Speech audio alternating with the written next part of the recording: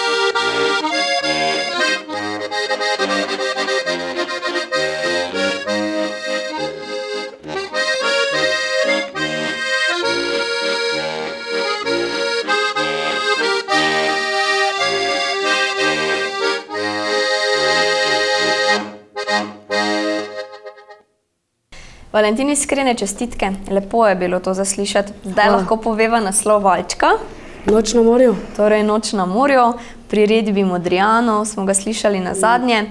Valentin, koliko vadiš, koliko vaj je bilo potrebno, da lahko zaigraš eh, ta dva komada, ki si jih danes? 30 minut na dan. 30 minut na dan. Pa rad igraš z veseljem, Da, tako da boš nekoč pravi muzikant. Super. Torej, tudi mi dva bova gledalcem povedala, da lahko za tebe cel teden glasujejo na www.lokalec.si. Torej, to je bil Valentin Breznik, oddajte za njega kakšen glas, mi dva pa jim še pomahajmo v pozdrav. Takole, drage gledalke, spoštovani gledalci, prvega tekmovalca smo danes že predstavili. Z menoj, v moji družbi, pa že pozdravljam naslednjega. Ti pa si, Domen Višič, domen pozdravljen, odkot prihajaš? iz Rada Lobodravje. Pa jih harmoniko igraš, drži?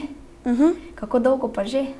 Tri mesece, Tri mesece, kdo te pa uči? Jure Učešč, Zdaj mi pa povej, Domen, kdo te pa je navdušil za ta instrument? Eh, stric, Stric, zanimivo. In potem si ti rekel, ja želim igrati in kdo ti je kupil harmoniko? stric tudi. Stric tudi? Ja, ko bi jaz imela kakega takega strica, da bi še meni kdo kaj kupil. Tako da si ponosen na strica in na svojo harmoniko. Uh -huh. Kaj nam boš pa danes zaigral? Uh, nedna, nednarodni venček, pa mi se imamo radi. Pa mi se imamo radi. Vse imamo radi, ne? Sploh pa če je glasba povezana, se imamo radi še toliko bolj. Jaz ti želim vso srečo, lepo odigraj in se lepo predstavi našim gledalcem. Hvala.